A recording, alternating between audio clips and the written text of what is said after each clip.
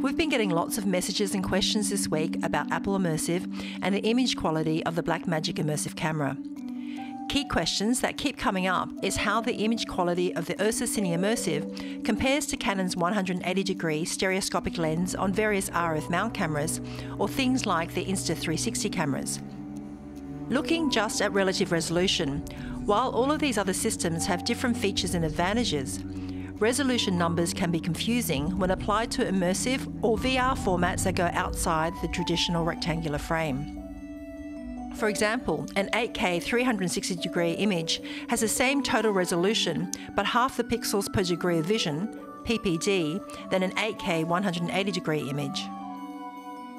So, in order to be meaningful for this unframed format or new form of borderless storytelling, Relative resolution needs to be measured in ways that more closely match the functioning of the human eye. Ben has put together a comparison of the systems we've been asked about and the Cine Immersive.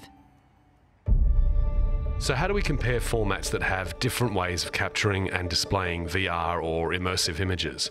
Well, we can correlate the PPD of these formats to the requirements of a standard Snellen or Logmar driver's license eye test to get a meaningful indication of the clarity of the images achieved by these different systems.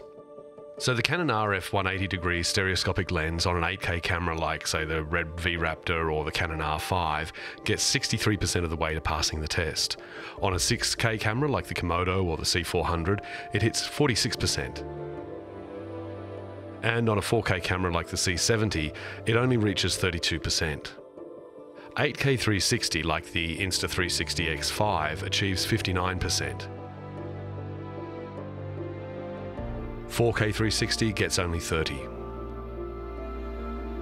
In contrast, the Ursa Cine Immersive passes the test comfortably with 108% of the required acuity. So while other cameras and lenses all have their merits and applications, they're certainly not interchangeable with the Ursa Cine Immersive when it comes to resolution. It's one of the key elements of how the Ursa Cine Immersive camera and the Apple Immersive Video format are able to achieve such a dramatically different level of realism.